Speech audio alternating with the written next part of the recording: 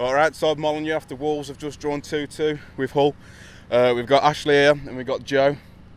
Thoughts, Ash? It's one of them, innit? You ain't going to win every game, but Bennett right win back at home. I'm not sure, but then who'd you play? Like, I'd not even, I didn't even know who Rasmussen was before the lineup come out. So it's one of them. It's, I saw I saw him playing the League Cup early in the season. I, I wasn't that impressed, but I thought when he came on, he did well. He was positive. He got forward a lot more than Bennett, and I, I think we missed Doherty. Oh yeah, I mean, I'm not. I must admit, I'm not. His number one fan at times, but you could tell. You, could almost tell the impact he had when he weren't there today, because it just down the right hand side, it just looked completely stunted. I think, and yeah, it was. It was one of them. I think. I didn't mind it when Cavaleiro went there. I thought the change to. Obviously, I know he scored the goal, but I think the change to put Rasmussen there, and I thought it was a bit bit weird. But you know, I suppose he scored, so you can't really mind too much. And I know he's coming for a lot of stick this season, but Ruddy he kept us in it for that that save in the second half. What do you uh, think of him being put in a team of the year by the EFL? Can't see it myself, to be honest. He's, he's cost us a few times this season. He's got a rick in him. Um, whenever Norris has played, he's played well. Um, surprised not to see Ruddy dropped at some point in the season. So for him to be in the uh, team of the season, can't see it myself. Well, they've obviously just looked at clean sheets, haven't they?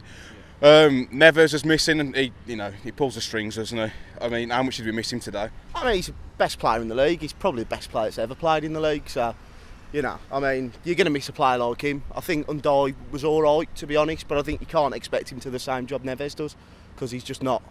No one's as good as Ruben Neves. In. I don't think. he, he lacked balance all over tonight, didn't he? I think he was he was desperate to make a change all the way through. I don't think we've really had that coming off the bench.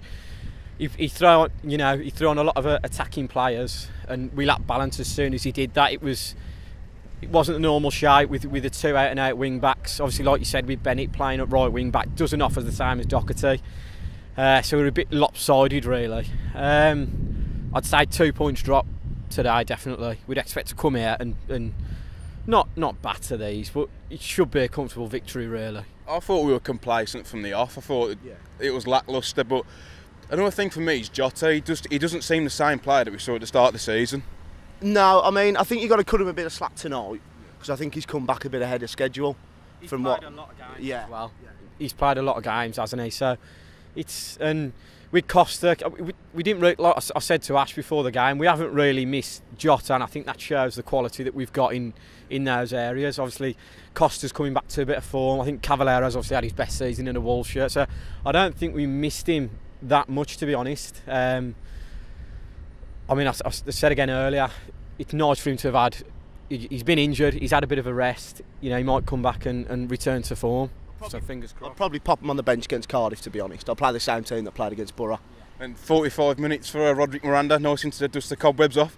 Is that uh, Yeah. is that the end for Danny Batth? I mean, I was surprised when I saw Miranda on the team sheet. I think he bloody was I as well. I, I think, to be honest, I think Oskar Buur Rasmussen might get a go at centre half, considering the options we've got. Bloody Danny Batth. I mean, Danny Batth. He's Danny Batth, barely a footballer. Um, Roderick Miranda decided he'd try and have a bit of a dance with the all player. I mean, it was Costa's fault as well. Someone needs to tell it. Well, WrestleMania's next weekend as well. I.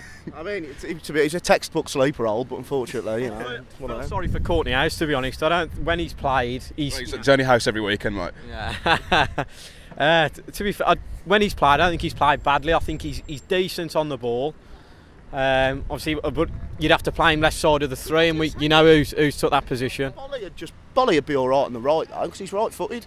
I think They can play anywhere, can't he? I think they? he likes having him on the full side so he can kind of mar- maraud more than the others. But I think pop him on the right, Kortney Hause on the left's a better option than Roderick Miranda, and well, certainly a better option than Danny Batth. Two points dropped.